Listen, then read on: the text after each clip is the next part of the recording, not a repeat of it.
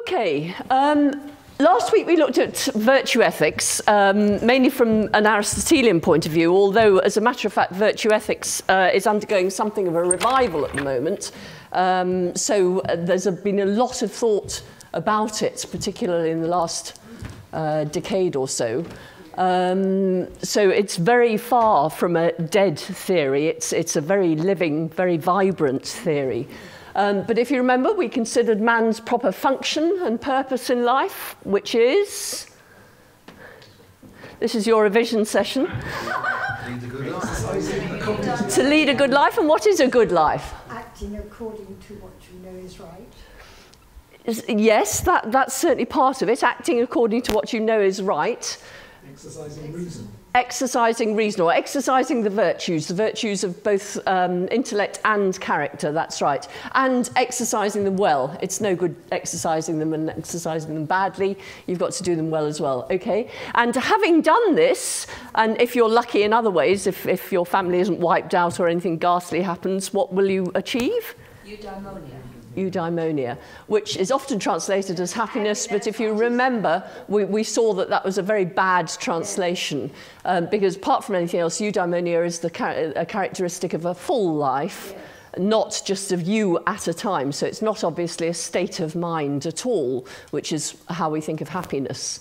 Um, okay, we decided, uh, well, we didn't decide actually, but we looked at the question of whether virtue is necessary for happiness. Um, I mean, could Idi Amin, for example, whom I'm assuming you would agree with me is not a virtuous person, um, could he have achieved eudaimonia? Okay, lots, lots of people are saying no, but of course, actually, he, he did die um, with a certain amount of wealth and his family around him and da da da. So some people may think that he's a counterexample to Aristotle. Oh, no, you really don't think so. Okay, good. Uh, well, he was vilified, wasn't he, by, by much of the world. I mean, you might think that that would be a bit of a downer. Maybe he didn't um, care.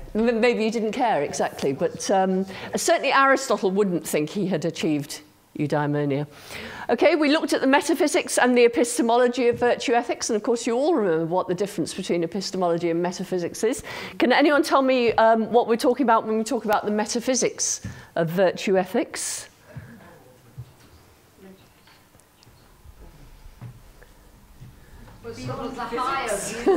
Beyond physics, yes, very good. okay. She did Greek.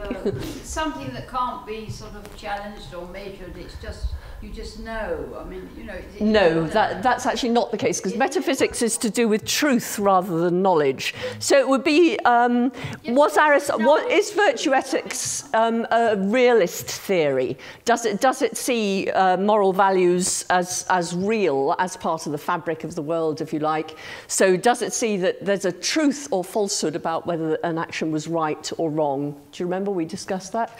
And we also looked at if that was so, how would we know whether it was right or wrong. Because, of course, an action could be um, right and wrong in it, of and in itself, and yet are not know that it is. So how do we know that it's right or wrong if it is? And then finally, we looked at the charge that um, virtue ethics lacks a decision procedure. What do I mean by that? Can anyone tell me? It lacks a decision. What's that? Not any rules. Uh, bit more than that, but yes, one way of looking at it, because rules make life easy, don't, they? If, if, if, a, if a moral theory says don't lie, then you know that all the class of, uh, sorry, all the tokens of the type is a lie are wrong. Um, that makes it nice and easy. Well, Aristotle's theory doesn't quite say that, does it? What does he say? He says there are no rules for a start. Um, so what is the characteristic of a right action? It's the action that would be performed by a virtuous person. And that looks as if it leaves us without a decision procedure, doesn't it? But um, what, what did I put to you as possibly what the decision procedure would be? Ask a virtuous person. Ask a virtuous person, or at least ask someone for whom you feel respect, somebody who, uh, whose virtue is, is thought by you as at least as good as your own, if not better. Yeah, you are someone you respect. Okay, good. That's a little run through last week's stuff to get you um, thinking. Okay, and this week we're turning to non cognitivism. Uh, and non-cognitivism is a type of moral theory. Again, it's a type of moral theory. Although it's traceable to the views of David Hume, there are many modern-day non-cognitivists, and David Hume certainly wouldn't have called his theory a non-cognitivist theory, although it's non-cognitivist because it's not to do with cognition, as you'll see in a minute, um, or it, it displaces cognition from the centre of the theory. Okay, um, we're going to be looking at all these things. I'll let you read those yourself.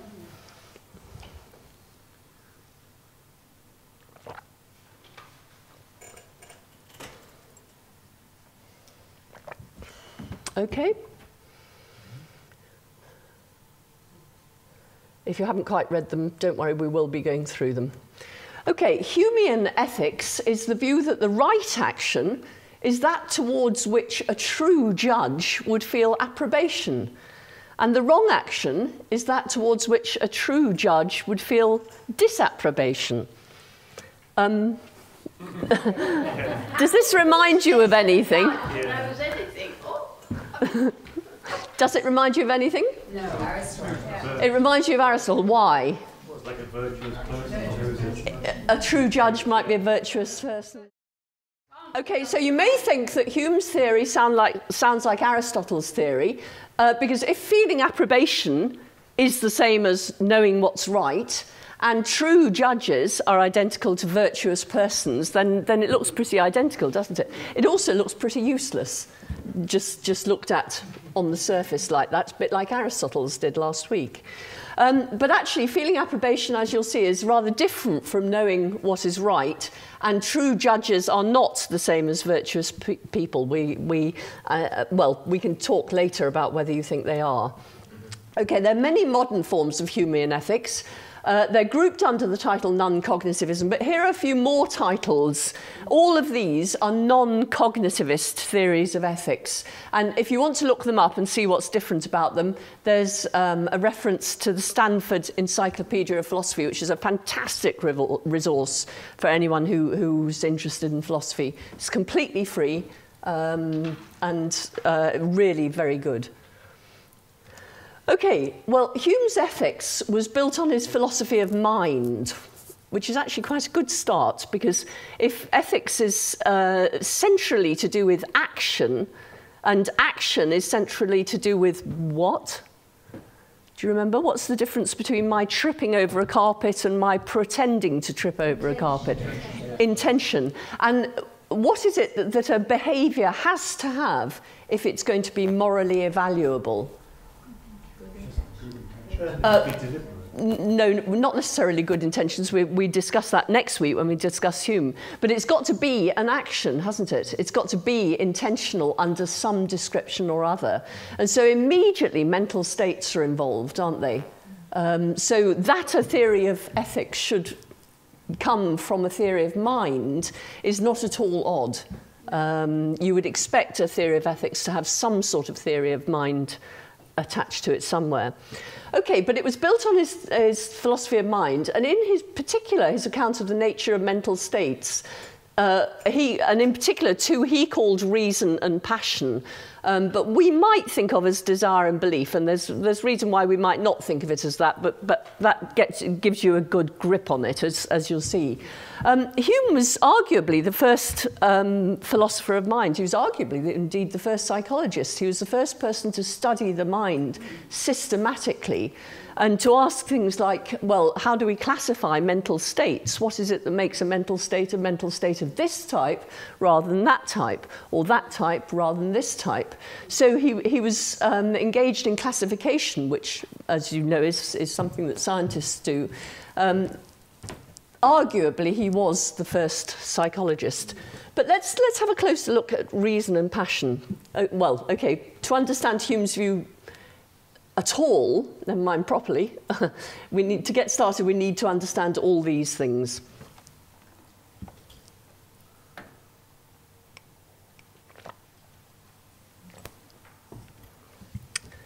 Okay. So let's start with the difference between reason and passion.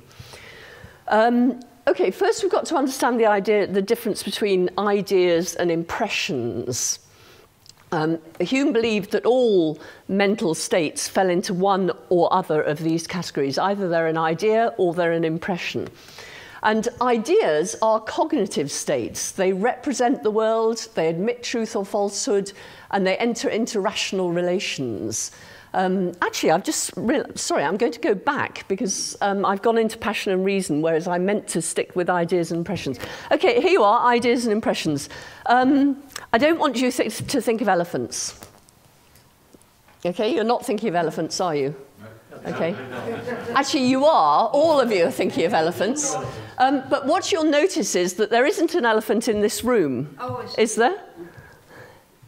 No? Okay. No, there's not even a hidden elephant, I promise you. Okay, now what you're doing is you're exercising your concept of elephant. Okay? Um, I want you now to look at uh, this glass. Okay? You're now, um, you, you are experiencing a percept, a perception, an impression, if you like, of this glass. Okay? But if you all close your eyes, you, you can no longer see the glass. You might be able to hear it, uh, etc., but you can no longer see it. So you're not uh, receiving a visual impression of the glass, but you could still exercise your concept of the glass. Could you imagine this glass being yellow? Yes. Okay, so now you're, you're splitting apart your, your concept of um, this glass and transparency, and you're putting together your concept of this glass and is yellow. Do you see what I mean? So, so the fact that human beings can entertain concepts or ideas, what Hume calls ideas, is a very important thing because without the ability to think about things that weren't, that aren't perceptually present, we couldn't form goals, we couldn't form plans by which to achieve goals, etc. So our ability to conceptualize the world um, and to, to think about things that aren't perceptually present is very important. And that's the difference between an idea and an impression. So an impression, uh, there's going to be something perceptually present to you. Uh, an idea, it needn't be perceptually present. You're ent entertaining your concept of that thing. Okay? Um, ideas are cognitive states. They represent the world, they admit truth and falsehood, and they enter into rational relations. Beliefs are the most obvious example of ideas. So let's think of, I mean, belief, let's think of the belief the cat's on the mat. Okay, so you all believe the cat is on the mat. Notice your belief represents the world as being a certain way, doesn't it? Okay, it represents the world as such that there is a cat and that cat is on the mat. So there is a cat, there is a mat, and the cat is, is on the mat. So a belief is a representational state, and it admits truth and falsehood. So if the world is the way your belief represents it as being, your belief is true, and if the world isn't the way your belief represents it as being, then your belief is false. Um, and it enters into rational relations um, in the sense that uh, if the cat's on the mat uh, and the cat's been fed, this is a bad idea, or something. Sorry, I'm you don't know my cat, my ex-cat. but uh, let me think of another one. Okay, if P, P then Q, P, therefore Q. Do you see there's, there's a set of rational relations here? You can take two beliefs, and from them, uh, and together they entail a third belief. So if you believe if the cat's on the mat, and if the cat's on the mat, then it's, it's wanting supper, then what do we know? The cat wants supper, exactly. So two beliefs together entail a third. Or, or beliefs can be inconsistent with each other. They can't all be true together. So the cat can't both be on the mat and not on the mat, for example. And, and if you believe that, well, that's funny, I thought the cat was on the mat. And now I look and where's the cat gone? Um, you've got an inconsistency, you've got evidence for falsehood.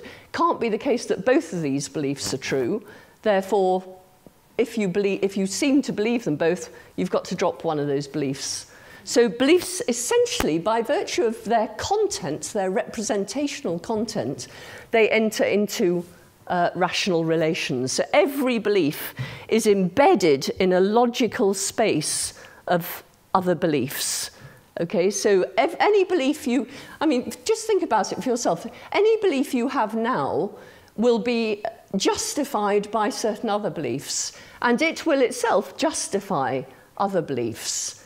Do you, do you see what I mean? So that's what it is for a, a belief to be embedded in logical space, and it's what it is for it to, be, to enter into rational relations. Lots of different types of rational relations, um, but we've, we've talked about a few.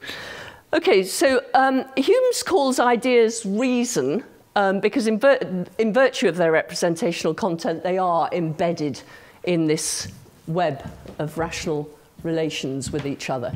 Any questions about that before we move on? What about the, the less tangible beliefs, like belief in God? Well, that's actually, um, we're not really talking about beliefs in God. Well, actually, well, why not? We can say God, that belief is actually better expressed in the way I'm talking as God exists. So you represent the, so if you believe that God exists, you represent the world as including in it God. Okay? If you don't believe God exists, then you represent the world as being empty of God. Your belief will be true if God exists and false otherwise. And if God exists and God is um, omniscient, then God knows what you're going to have for breakfast tomorrow. So, from your belief, God exists and God is omniscient, you can derive the claim, God knows what I'm going to have, God knows what I'm going to have for breakfast tomorrow. I didn't see that one coming, but I rather liked it when it came. Do you see what I mean? Okay, so uh, the reason I, I rather objected to belief in God is, is people, if you say you're a believer, meaning that you believe in God, um, that's a rather different thing from saying that actually everyone in this room is a believer in the sense that everyone in this room is rational and, and has beliefs. Um, so belief in God tends to be a, a, a belief apart from others in, in that way. Um, impressions, on the other hand, are states like sensations, desires, emotions. There's something that it feels like to experience such a state. Um, so there's something it's like to see an elephant, for example. There's something it's like to be tickled. There's something it's like to be about to sneeze, etc. Um, now, these are not representational states, are they? Your, your feeling that you're about to sneeze doesn't represent the world in any way at all, does it? Um, uh, and we've got to be a bit careful here because lots of people think of desires as rather belief-like. If you want a glass of water, you, think of, you should think of yourself rather as wanting to make the belief there is a glass of water, or I can drink a glass of water, or something like that, true. Okay? You want to make that belief true. You have a pro attitude towards the belief there is a glass of water in front of me, or I have water I can drink, or, or something along those lines. But you see there's something it's like to want a glass of water? Okay? But your desire for a glass of water isn't true or false, is it? There would be a grammatical error if you said my desire for a glass of water is true. Whereas my belief there's a glass of water in front of me admits of truth or falsehood. But you can't say my desire for a glass of water is true, because either it exists or it doesn't exist, but it isn't true or false in the way that, okay, you're all looking puzzled now. Okay, so, so let's. I have a belief there's a glass in front of me, and so do you. Okay, you believe that I believe there's a glass of water in front of me, so you've got a second order belief, but I've got a first order belief. Um, no, I forgot. Oh, okay, the glass, my belief is either true or false, isn't it? We all think it's true, but if, if any of you are about to wake up any minute and find that you've got to go to that lecture again this afternoon, you'll discover that it wasn't true. You just thought it was true. But you see how that's true or false. Now, if I want there, so there isn't, usually if I want there to be a glass of water in front of me, it's because there isn't a glass of water in front of me. It's because I don't believe there is a glass of water in front of me. But say I now want a glass of water, that want, that desire, isn't true or false, is it? It's not the sort of thing that can be true or false, a desire. Do you, do you see? Okay, yes, I can I see you getting that a bit. So it's not- Degree. Sorry, say that again. Is, is this a degree or is there a, a, a, a definite distinction? There's a definite distinction because a belief, um, if, if you think, I can't say of that chair that it's loud, can I? No. If, if I said that chair is loud, um, I'd be you, I'd be demonstrating the fact that either I didn't understand what I meant about the chair or about loudness, because chairs are just not the sort of thing that can be loud, are they? Are you with me? The, this would be what, what gra grammar, um, people in grammar call a selection mistake. Uh, in the same way, I can say of a belief that it's true, but I can't say of a desire that it's true. Are you with me? I might say a desire is fulfilled, um, but I can't say it's true. So if, if I want a glass of water and then I get one, my, my desire for a glass of water has been fulfilled, but it's still not true because desires are not the sort of thing that can be true. Can you, say the fact that you, you have a desire for a glass of water is true? Ah, The yes. desire might not be true, but the fact that you have that desire might It's be not true. the fact, it's, it's, that, no, that's very good, and actually it's quite useful. Um, Marianne wants a glass of water, or wants a glass of water. Remind me of your name? Chris. Chris believes Marianne wants a glass of water. Um, that admits of truth or falsehood, doesn't it? It's the content of your belief. Yes. Do you see what I mean? But my wanting a glass of water is not the sort of thing that's true or false. Your belief that I want a glass of water could be true or false. My belief that I want a glass of water can be true or false. But my wanting a glass of water can't be true or false. You with me? I can see you're with me now. Good. Uh, There's nothing I like better than see understanding on people's faces. That's lovely. Okay. Um, so um, they're not representational. But a desire is a pro attitude towards making a belief true. So a pro attitude towards having a glass of water in front of me or having a drink of water or something like that. And pro attitudes, you, you've all had them. You have pro attitudes toward cream, cream cakes, you wish it had stopped raining. You know, you've got pro attitude to the sun coming out, ha ha, um, and, and so on and so forth. We all know what pro, and sometimes your pro attitudes are really quite strong, aren't they? You really want a cream cake or a cigarette or whatever, and other times they're, they're fairly. You will go to church because your mum wants you to, but you know, so you have a pro attitude to going to church, but it, it's not a particularly strong one. You you drop it like a flash if your if your mum dropped it too. Um, okay, so they're not representational, they're neither true nor false, and they don't enter into rational relations. And they can't properly, therefore, be called reasonable or unreasonable. So, whereas a belief can be called reasonable or unreasonable to the extent that it's justified by other beliefs, um, a desire can't be. You either have a desire or you don't. And whether it's reasonable or not is, is just neither here nor there. Let me explain this to you in a certain way. Let's, let's say you have a child who um, doesn't want to go to university.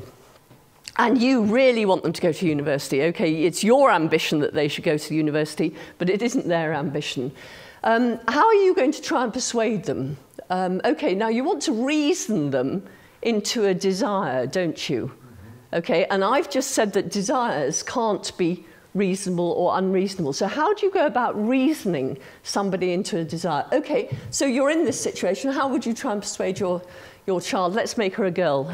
Uh, how would you try and persuade your daughter to go to university? Talk about the consequences of the decision of going at university. You will be able to find these nice things, or after university, you'll be able to earn lots of money because you've got a Okay. degree, etc. So what are you, what are you, is that what everyone would do? Yes, okay, more, I mean, there might be different lures, but um, it would all be like that. Okay, what are you trying to do here? Are you trying to tell No, no, that's not what you're doing. Um, no, you don't want her to need to go to university. That, that would be sad. Convince her that she needs to. Uh, no, that's not it anyway. engendering another desire. Uh, cash that out a little bit. Uh, you're providing an alternative desire. Or you're providing a path to a desire they already have. Good. Okay. What you've got to find in order to argue someone into a desire is to find a desire they already have and then show them they, that they can't satisfy that desire unless they um, form a desire. Now, if, if let's say that you've really hit on something that she really does want, what she wants to earn lots of money. Okay, she really does want to earn lots of money, and you've just told her that as a necessary condition of going to, to university. I have to tell you, this isn't true.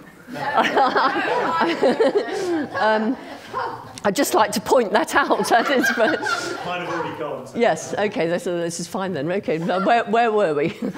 Um, okay, so she's got a desire to earn lots of money, and you're telling her it's a necessary condition of earning lots of money that you go to university. Now, if she, poor thing, believes you, um, she, she could do one of two things. What might she do?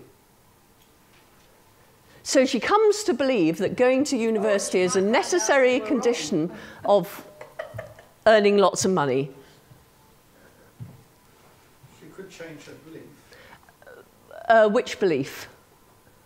The belief that she didn't want to go to university. To Well, that wouldn't be changing her belief, it would be changing her desire, wouldn't it? She, she could come to think, oh, well, if it really is the case, and dad tells me so, it must be.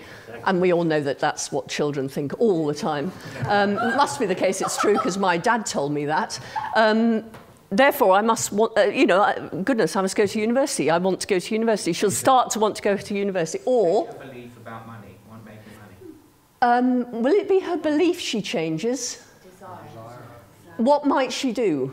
Not desire. She might just lose her desire to, to make a lot of money. She might think, ooh, well, if that's true, you know, yeah, I'd rather go and um, be a philosopher instead, or, or something like that. Although it is actually necessary to go to university for that. Do you see what I mean? If, if you, in order to, you, we think about arguing people into desires, but what we do is we provide them with a, a belief that desiring one thing or achieving one thing is a necessary condition for achieving something we know they already want. And we hope thereby to cause them, not reason, to cause them to want this other thing. But we might come a cropper if they decide actually to drop the first desire rather than uh, adopt the one you want them to adopt. Do you see what I mean? You actually, if somebody really does not want something, there's nothing you can do to argue them into wanting it because wanting isn't a, isn't a rational process. You either want something or you don't. If she doesn't want to go to university, if she really doesn't want to go to university, then nothing you can say is going to persuade her uh, because it's a desire is not that sort of thing. You with me? Okay, so Hume says it's not contrary to reason to prefer the destruction of the whole world to the scratching of my little finger. Okay, do you see what he means? If, he, if it, that's really what he prefers, then there's nothing irrational about it because desiring isn't either rational or irrational, it's non rational. Are you with me? So irrationality is a failure in the house of reason. So you can't be irrational unless you're rational. And if uh, desires can't be rational, they can't be irrational either. Desires are non-rational. Okay, they fall in between. Right. Okay. So now, do we understand the difference between reason and passion? Any, any questions to be asked about that? So reasons are representational states. They represent the world in being, as being a certain way. They admit of both truth and falsehood. Uh, and they're embedded in a logical space of reasons. Logical because it, they're rational relations that pull them together. Okay, so physical space is constructed of physical relations like on top of, in between, next to, and so on. And logical space is constructed of rational relations like entails, is consistent, follows from, etc. Okay, um, and passions, or desires, as I've been calling them, rather, I mean, there are a lot of philosophers who who'd be a bit fed up with me calling passion desire, but, but it, I think it makes it easier to understand. Desires are not embedded in reasons. They're neither rational nor irrational. They don't admit truth or falsehood, and they're not representational. So, two totally different types of mental state. So this, this is, remember, this is Hume classifying mental states into types. So beliefs are one type of mental state and desires are another type of mental state. Reasons are one type of mental state, passions are a different type of mental state. And Hume, okay, we need to know how this fits into Hume's claims about morality. Well, Hume believes that there are only two types of reasoning. There's demonstrative reasoning and probabilistic reasoning. So when we're engaging in, in reasoning, when we're trying to derive some beliefs from other beliefs, these are the two types of reasoning that we engage in, these two exhaust the types of reasoning available. So demonstrative reasoning for, informs of, of the relations between various ideas. So, okay, uh, well, I've given you the answer here, but can squares be circle? Circular, I should say. How, how do we know this? It's in their definition. Yes, okay. We, we entertain our concept of square, and by that I mean we all know, we all know, remember, a cognitive state, what it is for something or what it would be for something to be square, okay? And then we entertain our concept of circle, um, uh, our knowledge of what it would be for something to be circular. And entertaining those two pieces of knowledge, we see that actually these two things are contradictory. You cannot have something that is both square and circular. Okay? You, you, we know this, don't we? We only have to look, our, look at our concepts to know that. Um, and also, um,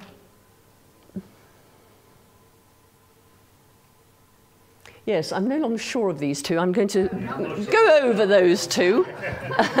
right. Um, anyway, I hope you see what I mean about demonstrative reasoning. Um, you, if you get, if you see that this belief and this belief can't both be true without this belief being true, that's demonstrative reasoning, deductive reasoning, okay? Um, probabilistic reasoning um, takes us from one experience to something, an expectation, if you like, about future experience. So it's, it informs us about causes and effects. So if in your experience doing A has always been followed by the advent of B, then doing A you will expect it once again to be followed by B, um, the advent of B. Okay, so, so you're, you're either thinking probabilistically or inductively, so you're, you're going from your past experience to make predictions about your future experience, or you're looking at the relations, the deductive relations between your ideas. Okay, so only two types of reasoning. Um, but in the absence of a desire for something, anything, neither of these types of reasoning is going to prompt any sort of action at all, isn't is it? So, so if I engage in deductive reasoning, I think, okay, uh, goodness, I want a cup of coffee. Um, the best way of getting a cup of coffee from here, um, well, is to wait for an hour and then go into the common room, okay? Um, or I could nip down to the shop just down the road and get one, but that would be leaving you da da da. Okay, I, I do want a cup of coffee, but I also want to give the rest of this lecture, etc.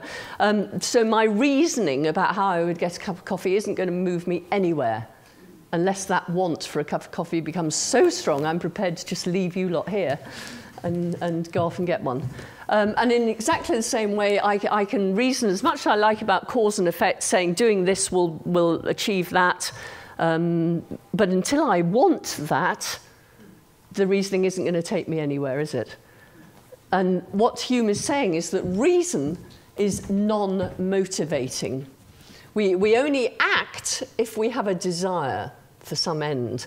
And he claims that reason is the slave of the passions.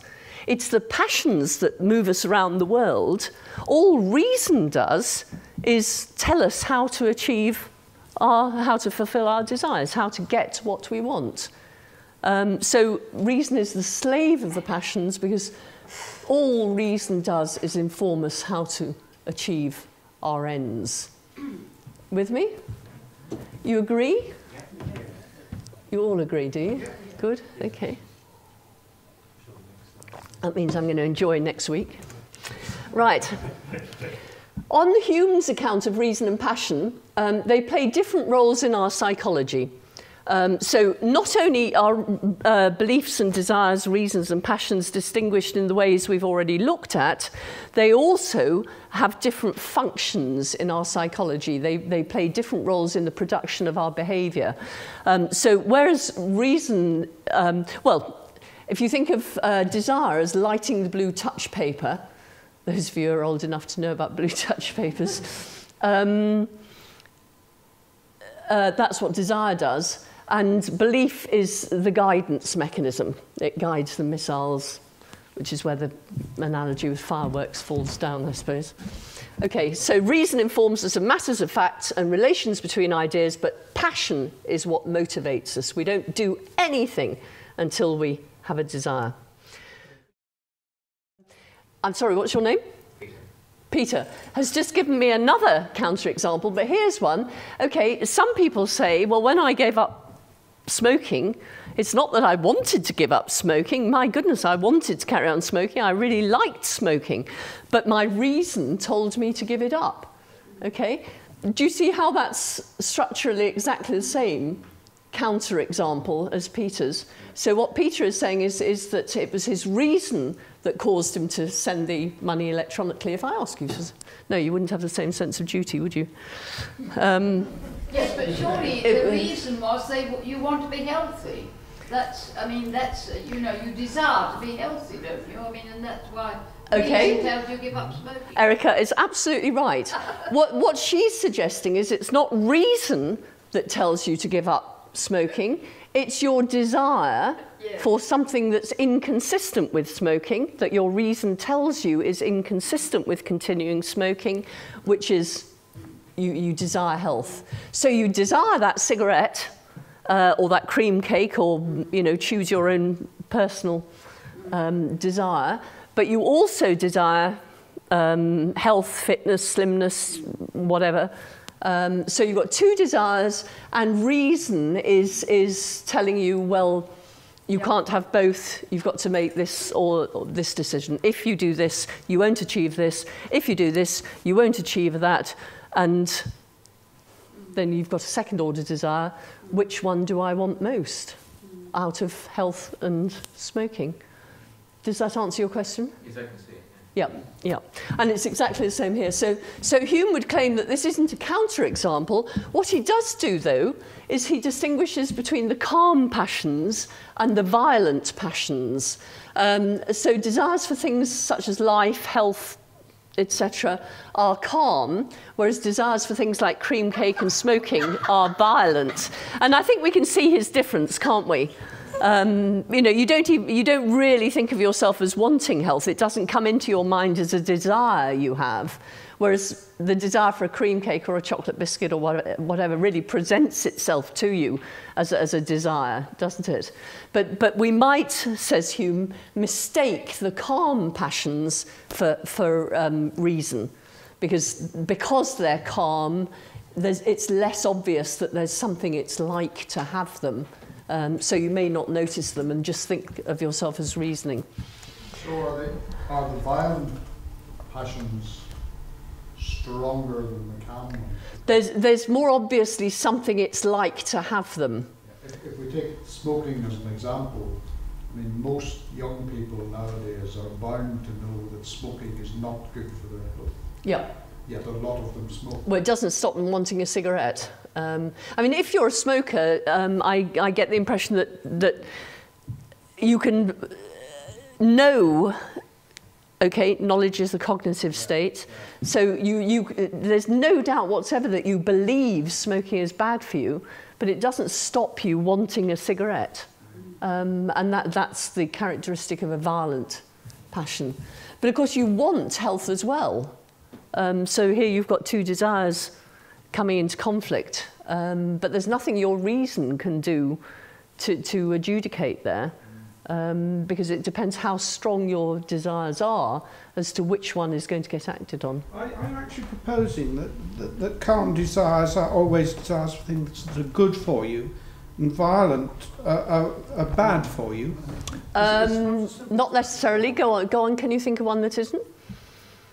And the calm passions, uh, they tend to be things that are, that are part of the structure of life. If, if I'm jolly hungry, cream cakes could be quite good for me.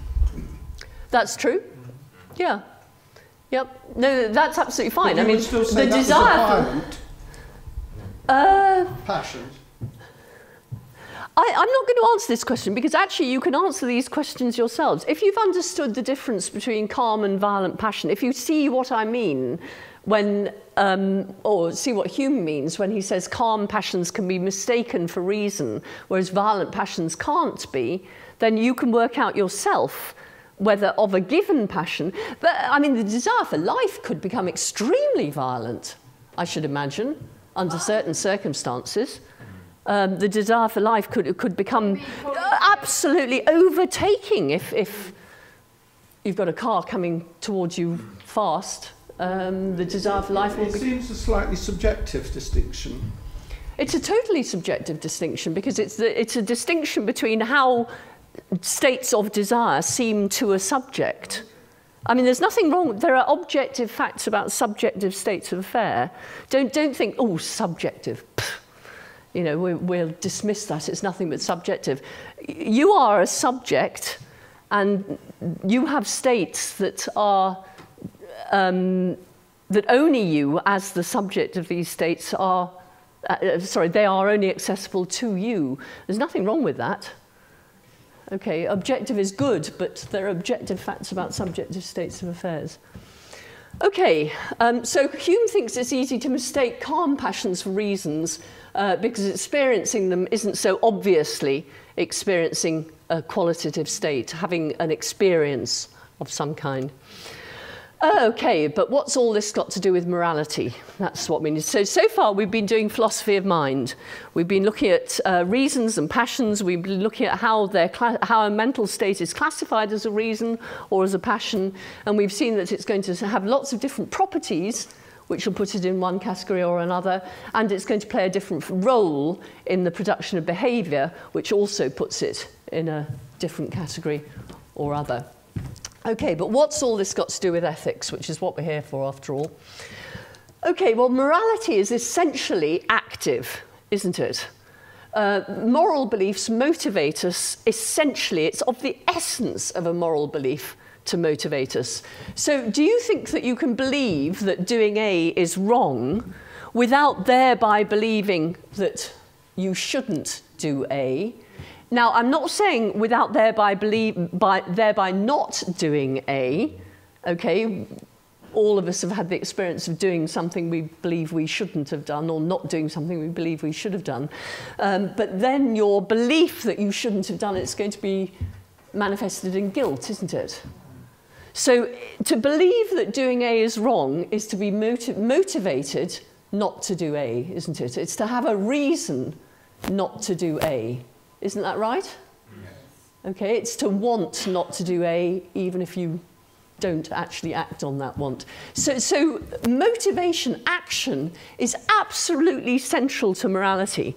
If your ethics doesn't engage with your behaviour, what are we all going to think? So you tell me you believe lying's wrong, but I catch you lying every five minutes. What, what am I going to think? When you say, say one thing and do another, what do I believe? Uh, well, uh, yes, I believe that you're not trustworthy, but, but um, I forgot what I was going to say actually, but uh, you always believe what people do, don't they? Not what they say, it's what they do that matters. And that's because morality essentially engages with your action. And if it doesn't engage with your action, then you may be paying lip service to it, but it isn't your moral beliefs. Okay? So morality and action go together like that. Um, okay, bleh, I think I've said that. Okay, so to believe lying is wrong is to believe we shouldn't lie. That belief, we shouldn't lie, is intrinsically motivating. You can't have that belief without being motivated. Um, and this move from is to ought, the shouldn't there is, is the ought, um, indicates a move from fact to value. Okay, and values are essentially motivating. And I'm not saying that there are no facts about values, which is something Hume might have said, but um, we, can, we don't have to address that here. Um, so if beliefs are causally inert, okay, and what Hume takes himself to have shown is that beliefs are not implicated in the production of your action, or at least they're not, they're not uh, implicated as motivators of your action. So you can have all these beliefs and not be motivated at all. Okay, so beliefs are causally inert. Then moral judgments, lying is wrong, etc., can't express beliefs. Okay, so what, what's he mean by this? Okay, consider the statement lying is wrong. Now, that looks like an expression of belief, doesn't it? If, if you say lying is wrong, then it, it, I would usually understand you as expressing a belief, a belief about the world, in particular, a belief about a certain type of action. So, what you're doing is you're um, picking out um, a certain class of actions the class of lyings, and you're saying these actions are wrong. Okay? So it looks as if you're, um, there's a representation of the world, isn't there? There's a representation of the world as containing uh, actions of a certain type, you call them lyings, and you're attributing a property to these actions. You're saying these actions are all wrong. Okay? But if keeping promises is right, again, you're picking out a certain type of action and you're saying of actions of that type that they're right. Again, you're attributing a property to a thing. So we surely have a straightforward subject-predicate sentence here. Just as you're saying of the cat that it's on the mat, you're saying of a lie that it's wrong. So just as being on the mat is a property of the cat, so being wrong is a property of lying, isn't it? I mean, surely saying lying is wrong is a belief. And what's more, um, it could be true or false. I mean, lying is wrong. Um, we probably would all say that that's true, um, at least as a general claim. We may want to start quarrelling, uh, we've seen at the edges and so on and so forth. But on the whole, you've all brought your children up, haven't you? to believe that lying is wrong is true. So, how can this not be a belief? It's a representational state, it admits of truth and falsehood, uh, and it's embedded in a logical web of other beliefs. Why, why do you think lying is wrong? Can you explain to me? Is it, is it just, do you have no reason for thinking that lying's wrong? Because if everyone did it, the world would grind to a halt. Yep, if everyone lied, uh, communication would be impossible. Yep, okay, so the perfectly good reason. So um, if you believe that, then you will believe lying is wrong, so it's embedded in a logical space as well. Surely, lying is wrong has got all the characteristics of a belief, doesn't it? Can you not qualify it by saying lying is usually wrong? You could do, um, but it, it's still got the characteristics of a belief, hasn't it? yeah. Uh, no, um, it still looks like a belief, and, and that's what Hume is pointing out. We all think that, that uh, when we express uh, sorry, things like lying is wrong, we are expressing beliefs. But there's a big problem.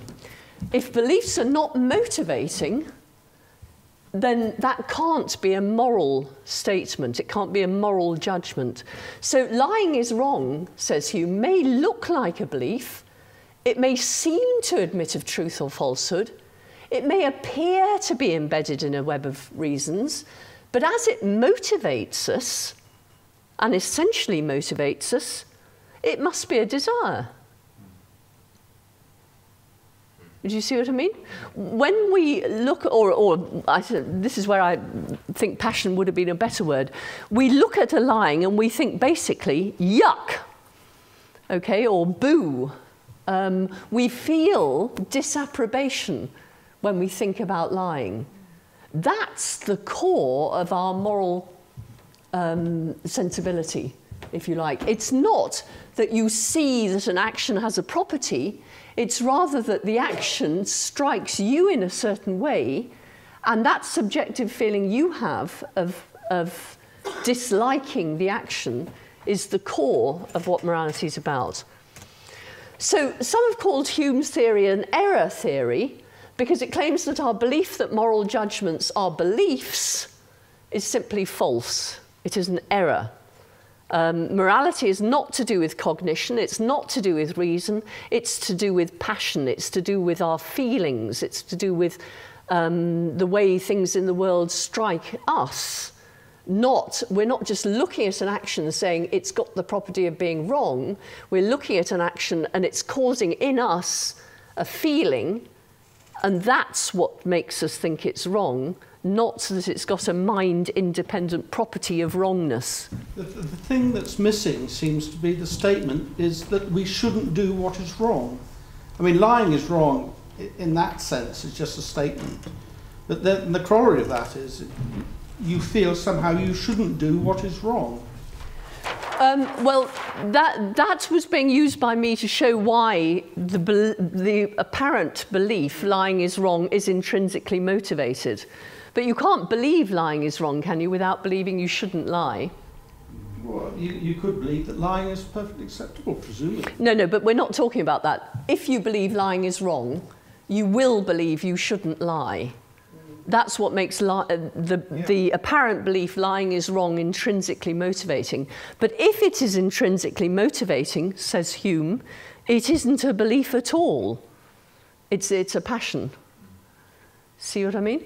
So, so very interesting here because Hume's really under, undermining um, our sort of knee-jerk thoughts about morality in quite a big way. Um, so he thinks that if we think the statement lying is wrong is a description of the world, an objective, if you like, description of the world, um, then we're wrongly projecting our own feelings onto the world. Actually, when we see an, an action is wrong, it's because it strikes us in our feelings and passions in a certain way. It's not because the action has a property that would exist independently of us. Now, if we accept Hume's account of mind um, and the resulting account of moral judgment, um, then we've got a problem if we also liked Aristotle. And I know that a lot of you liked Aristotle last week, so now you've got a problem. Um, according to Aristotle, when we act morally, when we act not only for reasons, but for the right reason. Yeah. And if Hume is right, reason doesn't come into it, does it? it it's how we feel. It's, it's um, our passions. So, according to Hume, it's not our reason that prompts us to act morally, it's our passion. Um, okay, well, let's, let's talk about this for a while. So, do you, do you agree with Hume that moral motivation requires a passion, or are you more with Aristotle in that morality requires passion to be overcome by reason? What do you think? Well, I'm Aristotle. Myself. Right, Eric is Aristotle. I'm you. You're Hume, okay. Well, let's have a let's have a quick uh, Hume. Okay, Aristotle. Okay, we're almost evenly divided, but possibly Aristotle's got it. Okay, well, tell me, tell me why you're with Hume, Peter. Well, I, I think because he includes passion, uh, which I think Aristotle rather excluded, and um, I think passion is important. Okay, and why do you think passion is important? Do you think Hume's right about why passion is important? I, I think because you've argued the case that, um, very well in the sense that um, actually passion does motivate. Yeah, it was Hume's argument sorry. rather than mine. Sorry, sorry Yeah, yeah. You argued the case you. Thank you. All right. Uh, okay, anyone else want to um, support Hume? Why, why with Hume in this? Hume seems to be saying that, in reading about it, that we confuse is with oughts, and that we, therefore, what we say, the way the world is, you're, you're actually saying this is the way the world ought to be. and that we confuse, and therefore we need a, a passion to make it the ought. Yes. As opposed to a reason to make it an is. Yes, that's right. I mean, Hume gives an example of a, of a sapling that, that rises up to, to overtop its parent's tree, thereby killing it. So we see exactly the same relations, don't we? Reason tells us it's exactly the same relation as the relation of um, matricide or patricide. Um, but we don't feel any sense of disapprobation when we see it happening with the saplings, whereas we do feel disapprobation when we see it with human beings, the, the child killing the parent. Um, so he thinks that it's not the relations in the world, it's not the properties in the world that are important, it's our responses to these properties that's important. It's how we feel about them, how they strike us um, em emotionally um, in a way. Well, also, just as an additional thing, he doesn't. I mean, he doesn't say that you don't need reason. You do need reason. Yes, to, you're to, absolutely to right. interpret your motivations, but it's motivations which are the. It's the passions which are the motivating things in the first place. You're absolutely right. Um, when he says reason is the slave of the passions, he's not actually suggesting that reason isn't involved in the, in the production of action. It is. But it is the guidance mechanism, not the, the lighting of the blue touch paper. That, that's the difference. So both of them, both reason and passion are involved in any action at all, um, if it's an intentional action anyway. Um, but it, its passion plays the role of motivating. And as moral judgments are essentially motivating, they must be passion rather than reason. That's, that's the idea. You can reprogram your passions. Ah, well, let's come on to this now, because um, there's a big problem for Hume, and that is that it seems to commit us to believing that lying is wrong means little more than I don't like lying, or when I see lying, I feel disapprobation. Um, do you see what I mean? Lying strikes me as horrible, therefore lying is wrong. Well, that seems to be a highly subjective view in a, in a sense of subjective which is disapproving. Um, because on the whole, we don't want our moral beliefs to be subjective, or what we think of as our moral beliefs to be subjective. Um, so if, if Hume's right that there's nothing more to lying is wrong than that we don't like lying, then surely there's something wrong here with his theory of morality. Well, that's because we actually um, Okay, so there's, there's a question. So is that what his claim is? This is a problem for him, or it would be a problem if that's what he's claiming. So is this indeed what he's claiming? Um, and to see that it isn't, we've got to look at his positive view of morality. So far, we've looked at his negative view of morality, um, what he thinks morality isn't. Now let's look at what he thinks morality is. Um, he secures a sort of objectivity for moral judgments by requiring that before an expression of approval or disapproval, or approbation or disapprobation, as he puts it, uh, can be deemed moral, it must be made by a certain type of person. Okay? You, so it's not that every person who um, looks at something and says, whoa, that's wicked, um, is thereby making a moral judgment or should be understood as making a moral judgment. The only person whose approval or disapproval is properly moral, according to Hume, is a true judge. And that's where the true judge comes in. Do you remember we looked at whether this was like Aristotle's virtuous person? Okay, a true judge is a person who's adopted a stable and general perspective on an issue. Okay, so we need to know what a stable and general perspective is. Um, so how do we become true judges? How do we adopt this stable and general perspective on an issue? Or if we're parents, how do we encourage our children to adopt a stable and general perspective on an issue and thereby become the sort of people who, whose um, moral beliefs or, or beliefs are truly moral? Passions are truly moral, I should say.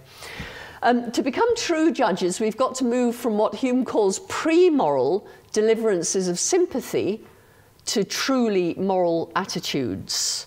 Okay, so we've got a distinction between pre-moral deliverances of sympathy uh, to truly moral attitudes.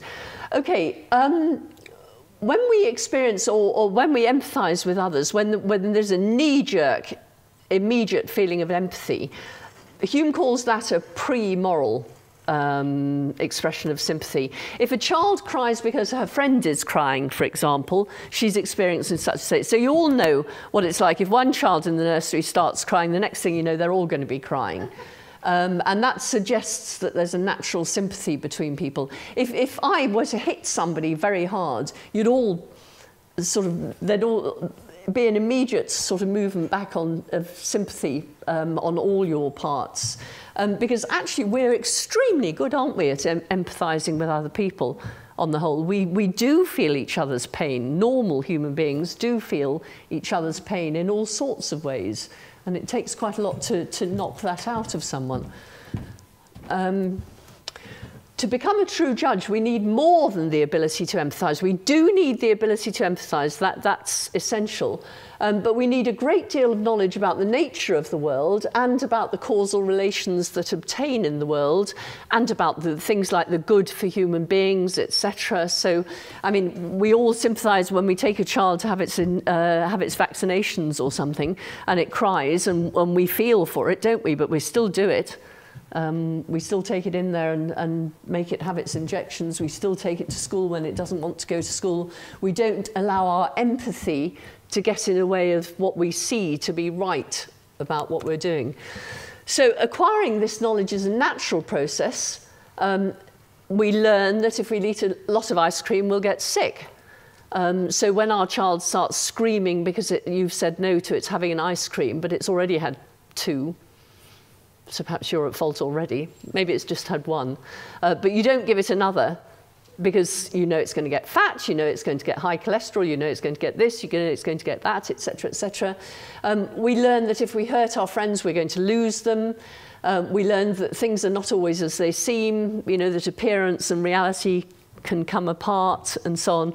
And in learning all these things, um, we learn um, the better to apply our empathy, don't we?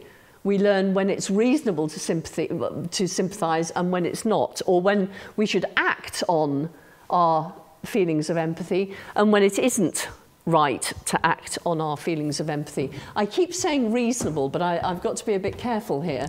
Um, because you see what we're trying to do is, is merge, or, or not merge, but, but um, educate our feelings of sympathy, educate our feelings of empathy. Um, another thing we learn is that we're just one person amongst many.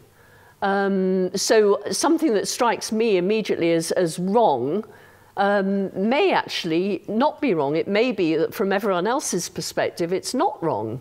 So the fact that it strikes me immediately with a sense of disapprobation, you know, oh, he's taken my doll. Um, so I start screaming that this is wrong and not fair and da-da-da-da. But actually, you learn that you're one amongst many others, and that teaches you that actually maybe it's not right that you're feeling disapprobation is evidence of injustice, for example, in this case. We also learn that we can be wrong. So we become true judges only when we've extended our natural ability to sympathize. So we acquire the desire to consider every action from the perspective of all of those who are going to be affected by it, okay, not, not just ourselves, not just um, those who are close to us. We, we think of everyone who's going to be affected by the action. So anyone who doesn't think like that, anyone who considers only themselves or only the, the immediate people, is someone who hasn't yet learnt how to adopt a moral perspective on the world.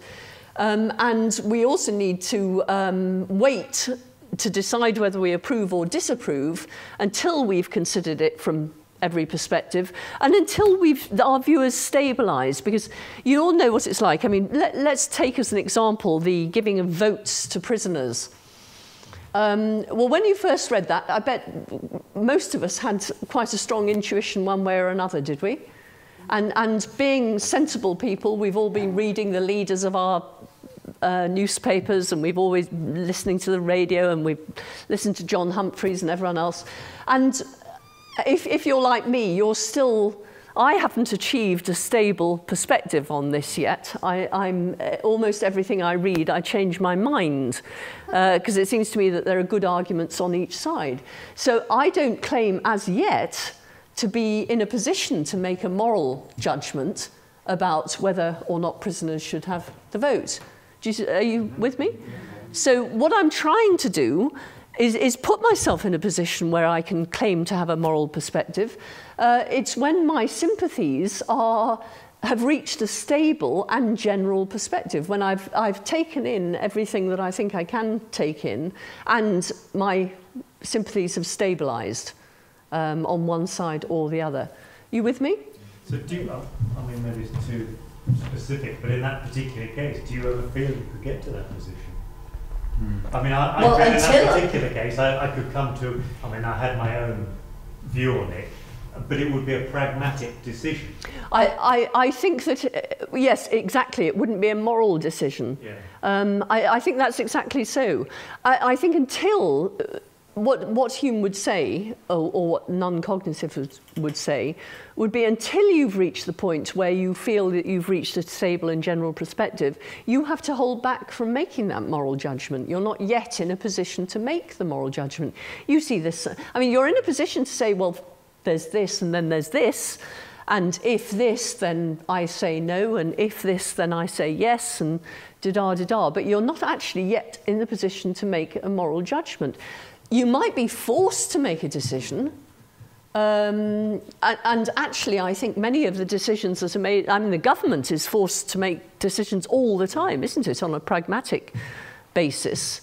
Um, and probably often, usually, always perhaps, before it's in a position where it can make a moral judgment. And, and any actually thinking person is going to see that and, and see how difficult it is to get into that position because we all know, if we're intellectually honest, that it's actually very difficult to get into that situation. Aren't you in danger of using this as an excuse for never making a decision?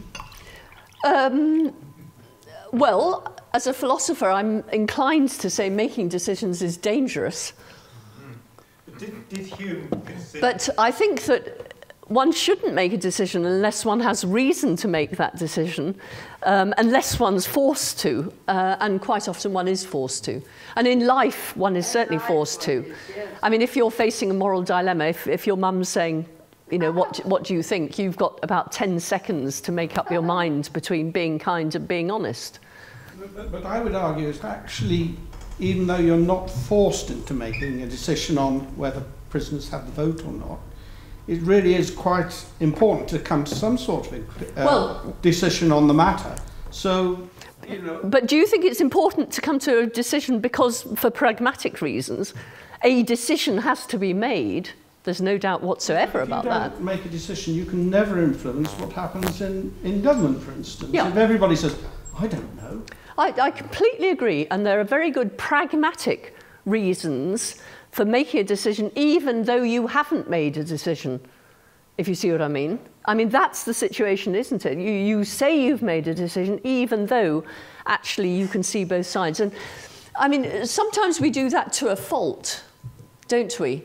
We say we've made a decision when actually we're quite, actually quite a long way from making a decision. And well, maybe you, you don't ever do that. I have been known to be very definite about a position that about three minutes later I think, actually, um, So to extend that, did Hume consider that true judges actually exist, either for a particular case or or is it someone who is a true judge? Know, He's got the gold star, or is it is it hypothetical that it's a it's a state which you could imagine, but maybe you never ever read. well, we, and we can ask exactly the same question about Aristotle, can't we? Yeah. Are, are there any people who, who are virtuous? Yeah. I mean, maybe this is just an ideal state. What we're saying is that an action is right if, if it would have been performed by a virtuous person, if there were any virtuous people. Mm. An action is right if it would have been approved of by a true judge, if there are any true judges. Maybe, maybe all of us are, maybe this is like the situation in mathematics when we say we always tend to infinity, we never actually get there. Maybe we tend to true judge them without getting there. I'm assuming that Um, both of them didn't actually say those things. No. based on- No, not that I know of. I, I mean, again, um, Isn't it also based on universals rather than, in what way? well, ra- rather than recognising that in different cultures, different knowledge uh, knowledge will be different. Knowledge is not absolute. Um, we, we went over that, if you remember, in the second week, or was it the first week, when we looked at absolute and relative knowledge. Uh, sorry, absolute and relative truth. Um, and you could, I mean, if moral truth is relative, then a true judge would make judgments on that basis. And if knowledge is, if, sorry, if moral truth is absolute, then a true judge would make. But we're not going to judge that, we're not going to prejudge that issue. But you might want to go back and have a look at absolute and relative truth that we did in week one. Any other questions on that? Let, let's move on a bit because we're... Okay, so if we allow bias to cloud our judgment or we ne neglect to consider somebody um, our attitudes of approval and disapproval are not going to qualify as moral attitudes. Um, we all know, I mean, sometimes when we, when we look at um, these campaigns to get pedos off the street and things like that, we might think that this is an indication of, of a pseudo moral attitude. I'm, I'm sorry if that offends anyone, but do you see why I'm saying that might be a pseudo moral attitude? Um, a lot of these knee jerk campaigns, um, it's very difficult to resist the thought that they haven't been thought out, that they haven't been looked at from different angles, they haven't been looked at objectively, we might say, if we were just in bar conversations. And what we're, we're appealing to here is just we can see why the outrage is caused. We can see where the um, um, disapprobation is coming from, but we can also see that it's perhaps misdirected or, or that it's not being used properly, um, that it's being misused. Um, and it's that sort of thing we're, we're looking at here. Um, so if and when we do succeed in adopting a stable and general perspective, um, there are modern Humeans, and Simon Blackburn, for example, I, of whom you may have heard some of you, um, he calls himself a quasi-realist, um, and he thinks that um, non-cognitivism can actually earn the right to think of moral judgments as true or false, even though they're not, um, when they're judgments made from the stable and general perspective. So, um, going back to, to where Hume is, so when we say of an action that it's right, Hume says that we're not saying that that action has a property of being right and it would be right whether anyone was there or not. We're, if we say that, we're projecting our own feelings onto this thing, okay? And what Simon Blackburn and other non quasi-realists are saying is that actually, if you've educated your, your feelings of approbation and disapprobation properly, so you've become a true judge, then actually when you look at an action and say that it's right, you've earned the right to call your judgment true or false. Yeah. Even though it's still uh, the application of a passion, not a, not a reason, it's a desire, not a belief, if you like, um, you've still earned the right. I can see you're not too happy about that, and to be honest, I'm not either. Um, but many people are, and Simon Blackburn's written a fantastic book called Ruling Passions. Um, it's not like his other books. It's not a um, um, a popular book. It's it's it's a book for professionals. But if if you can bear it, it's a very good book to read. Ruling Passions, it's called. Um, so, even though moral judgments are expressions of passion, not reasons, the passions they express are so informed by reason that they almost attain the status of beliefs. And the passion is still central because if it wasn't, these judgments wouldn't be motivating. And if they weren't motivating, they wouldn't be moral at all. Because we've seen that if, if in order to be moral, a judgment has to be motivating. So, if moral judgments express passions, then right and wrong can't be properties that actions have independently of the way we feel about them. Um, but this doesn't mean that Hume isn't a realist. Okay, we're getting onto the metaphysics now, and we've, we've got a very short time, but we're getting onto the metaphysics of non cognitivism, the metaphysics of morality, according to Hume. He believes that moral properties are so called secondary properties. And secondary properties are like colour, um, for example, as opposed to shape. Shape, the shape of an object is a primary quality of an object. Its colour is a secondary property. Let's see what we mean by that. If you're asked what redness is, I should have brought these in and actually asked you without. In fact, let's. Okay, what's redness? Now you've had a quick look, and now you're not going to be able to bring it out from your intuition because you're trying to remember what I wrote. But go on, what do you think redness is? Secondary? You mean the secondary quality? Redness. Now, forget about secondary qualities for a minute. Just tell me what you think redness is. Go on. It's a, it's a, it's a surface which reflects light at a specific wavelength. Okay, you, you think that it's a surface that reflects light at 650 nanometers. Um, just fill in a bit of detail there. I'm very proud of myself about that. Um, passion and, and, and energy and, and life. Uh, no, you're thinking of meaning in a metaphorical sense here. I, I'm actually asking what redness means rather than what it. Yes, because in China it means bridal, um, whereas here it means danger, perhaps. Oh, yeah, uh, yeah. yeah, that's not what I mean, but so more. It's an experience. Okay, you, so you think it's, it's a subjective experience, the, the sort of experience you have when, ah, there's nothing red in here. Yes, there you are. When we look at, what's your name? Ian, When we look at Ian's thingamy-bob, we, um, we have a certain experience and we call that experience red. That's what you're saying. Okay, good. Anyone have any other idea? Okay. Well, let's see what's wrong with both of those. Um, okay, here's, here's the three I had. So this is yours. Okay, and it's and you're saying that redness is an entirely subjective state because actually, when when I look at Ian's um, collar, um, I might be seeing what you see when you look at my cardigan, don't you think? I- Okay, you think that? So to you, redness is a totally subjective experience. Not totally, but mostly. Well, okay, it's, it's an experience and it's one that's private in principle to each of us.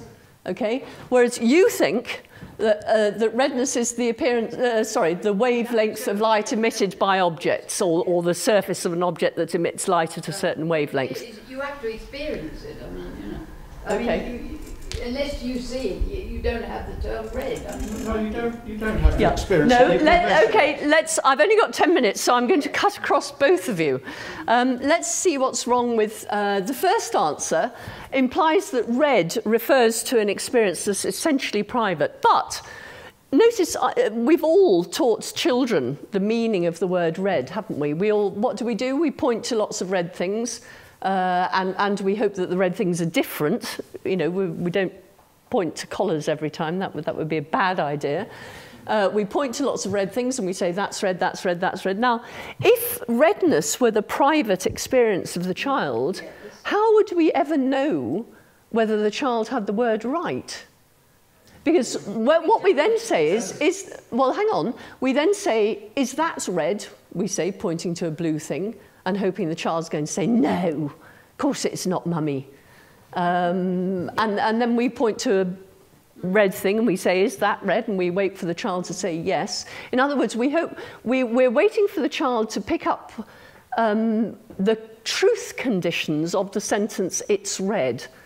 And so it recognizes it's true when it's true, and it recognizes it's false when it's false. Well, how can we do that when we can't see what it's experiencing? We have no idea what the child's experiencing. Could be colourblind. No, we would know it was colourblind because then it wouldn't make the distinctions between colours that we do. And that's actually what, what, the, uh, what we're going on. When that child is saying of the colour that we see as red, that it's red, we'll say it's right. And when it's saying of a colour that we experience of not red, that it's not red, we'll say it's right again. Do you see what I mean? So it can't be the entirely private experience. What we're hoping, what we're relying on is that there is an experience there. That's, that's true. We absolutely need that. But what the experience is actually drops out of the picture. Um, it, it cannot, because otherwise we can't know whether the child's got its right or, it right or not. Um, so redness isn't the essentially private experience, although it seems clear that an essentially private experience is needed for someone to, to acquire the concept red. Now, let's see why you're wrong, sir. Okay. Um, oh, okay. I'm sorry. Go, just going on here. So, um, if redness were entirely private experience, we couldn't tell whether we were talking about the same colour at all, could we?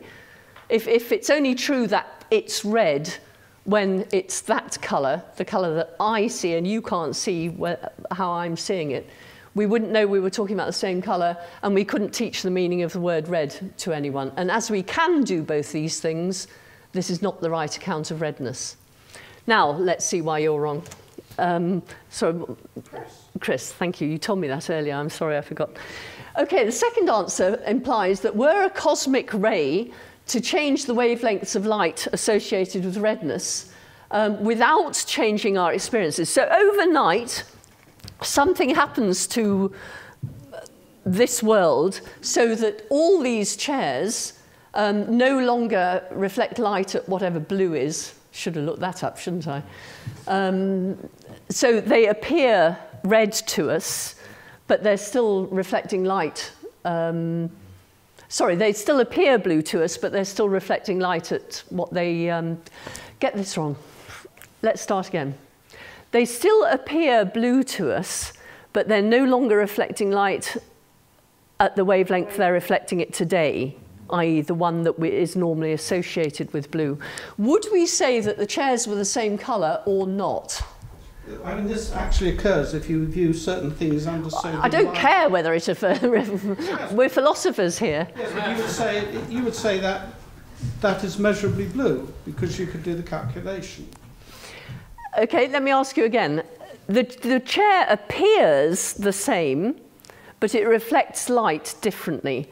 Has it changed colour or not? In other words, does the idea of same colour go with the way the chair appears to us or the way it reflects light? Depends entirely for a scientist or a philosopher. Uh, no, I don't think it does. What would the scientists say if suddenly blue chairs started reflecting light differently? They wouldn't say they'd change the colour, they'd say that the wavelength of light associated with blueness has changed. I'm sure they would. We don't have time to carry on about this, but you think about that. Um, I, I think we'd, we'd colour would always go with our experiences. But notice you've, you've, you've got to have um, the objective um, property in the object as well. The true uh, account of colour is the um, third one. Redness is the appearance that certain objects have when seen by normal people under normal circumstances. So because red things, uh, well, we would almost certainly think the explanation of why normal people under normal circumstances see um, Peter's collar, uh, sorry, Ian's collar in the way we see it is because it's reflecting light at 650 nanometers. That's the explanation of why it appears that way to normal people under normal circumstances. So redness is something that emerges from the interaction between our visual systems and objects that reflect light in a certain way, this other property emerges, but you have to have our visual system and the objects and light being reflected in a certain way. But once you have those two things, you've got a secondary quality. Um, you've got a quality that isn't objectively in the object quite independently of us, but it's also not entirely subjective, nothing to do with the world out there. It's actually to do with the interaction between our subjective experiences and the world as it is in itself. And when you get something that emerges out of the interaction between those two things, you've got a secondary quality. And, the, and Hume's answer, um, hang on, I've now lost my way. uh, I'm going to give up on this. um, okay, so Hume's thought is that morality is a property that emerges out of the interaction between normal human sympathy or empathy and the way the world is. And put the two together and you get morality. So morality, rightness and wrongness are secondary properties, a bit like colours. They're not primary qualities, they're not in the actions quite independently of our feelings about the actions, but nor are they just entirely in us independently of the way the world is.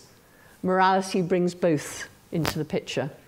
Rather satisfying, I think, that one. Yeah, but is it... Oh, yeah, but. Well, I'm just wondering, I, I sort of sense a little bit of a problem there. Oh, go Because it's soci- although socially we may agree that it's blue, and you're saying, well, yeah, but it's an interaction with whatever's happening there as well.